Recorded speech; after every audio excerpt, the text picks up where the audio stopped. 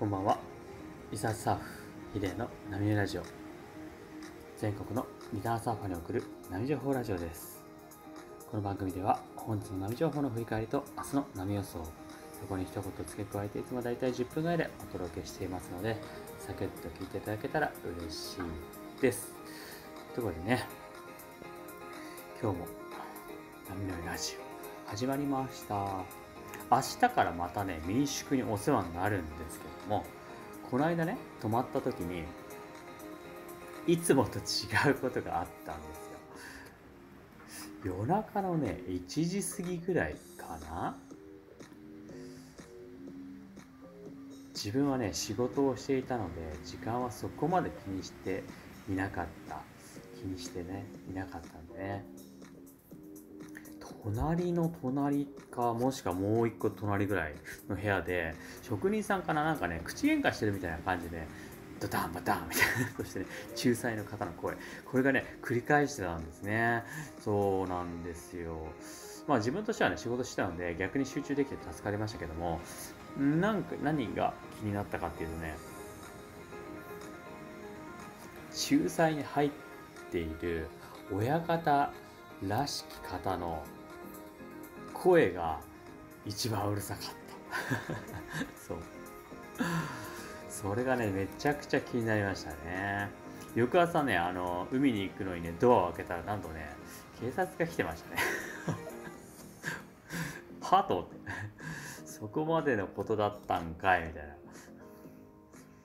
仲裁の方の声がね、最後まで聞こえていたので、あの、大事ではね、ないのかなと思ってたんですよ。そう。そしたら大事だったみたいです。いやーね、明日からまたお世話になろうと思ってるんですけどね、大丈夫かなとか思っちゃいましたね。今日はですね、あの、いつもと違う、もしくは見える景色が変わったんでね。この宿の話ではないですけど。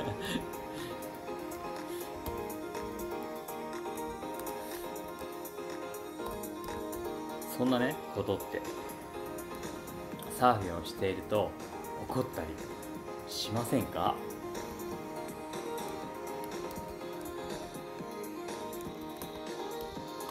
それをね、それはね、成長している証拠だったりしますよね。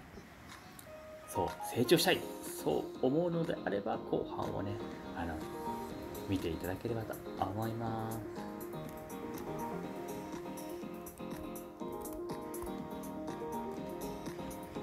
それではですね、全国波情報、本日の振り返りからですけども、えーとですね、本日はですね、前線の低気圧と、えーと大陸から来た低気圧が東へそれていきましたね。で、高気圧も東の海上へ。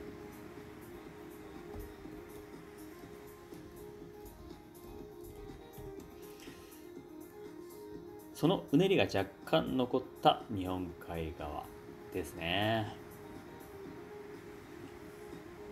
太平洋側広い範囲で低気圧ですね。広い範囲で低気圧からのうねりが残り、サイズまり遊べていました。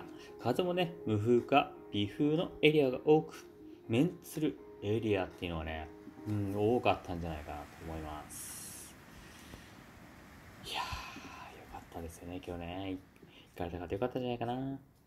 明日の波予想、明日ですね、前線は南の海上に停滞しているのいるので、えーと、梅雨の天気にはなりそうです。ですけど、えーと、気圧の変化が変化がね、特に出なさそうなんですね。そのため日本海側は本日よりうねりは入らなそう。太平洋側は、えーと、天候は優れないですけど、うねりはキープ傾向なので、風もね、気圧の変化が見られないので、穏やかエリアが多そうです。明日もいいんじゃないかな。今日まだね、サイズが大きいっていう感じがありますからね。はい。というところで明日の出戻りサーファーエンジョイレベルは星4つにしてありました。マックス星5個ね。風は明日も穏やかそうです。波のサイズは本日より下がりますが、まあその分ね、あの、うねりはキープ傾向。うん、下がり、下がるところとキープするところってあると思うんでね、キープ傾向なんで、広いレベルの方が遊べるサイズになってくれそうです。今日の一言はテイクオフし、テイクオフした瞬間、いつもより波が見える？なんて経験は誰しもがあるんじゃないかなと思います。この教師にね、いち早くなるために必要なこと。それは、って話ですね。見える景色を変えるために一番必要なのは何かって話なんですが、当たり前かもしれませんが、波をよく見ることですね。そう。見るっていうのは、ただ単にぼーっと見るとかではなくて、あの、観察する見るっていうね、顕微鏡で見るとかの見るなんですね。そう、よく観察するってことです。これができてない方がね、多いというかね、多すぎなんですね。だから波に乗れない。乗ってもすぐに巻かれる。乗っただけに。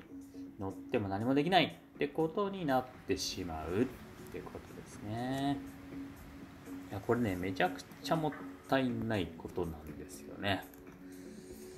そう。そしてね、波に乗ったつもりになって満足しちゃってるってね、ほんともったいないです。なので、波をよく観察しましょうってことなんですね。自分のところに来る波をよく観察する。これは当たり前ですね。それだけではなくて、両隣のピーク、手前の波、奥の波、ブレイクしそうな波ね。これ結構大事。そう、波に乗っている方っていうのは、これもね、大事ですね。これがね、できてないですね。そう、いろいろな角度から波をよく観察する。これがね、経験値になるんですね。そうなんですよ。これがね、できてない方が多すぎる。だからもったいないですよ。そうこれがね経験になって蓄積されていくんでね自分の中でね。二度と同じ波は来ないと言いますがそうなんです。なので似たような波の経験をどんどん蓄積させて自分が乗る時に生かすってことですよ。これが重要。そうすると見える景色っていうのがねどんどん変わってきます。いつもより波が遅く見えてきたりしますね。次何しようかなと考える時間が少しずつ増えます。これができるのがね、やっぱ上手いサーファーなんですね。そうなりたいと思うのであれば、波をよく観察するっていうことを徹底してね、行っていければと思います。上手くなると、もっと楽しくなる。やっぱね、それがね、サーフィンのね、醍醐味ですからね、ぜひやっていただければと思います。もうね、えっ、ー、と、今日は木曜日が金曜日、でね、また週末ですからね、見る意識をね、ぜひして景色を変えていきましょうというところでね今日は終わりたいと思います。それじゃあ明日海に行かれる方は気をつけてサーフィンを楽しんでください。それじゃあまた。バイバイ。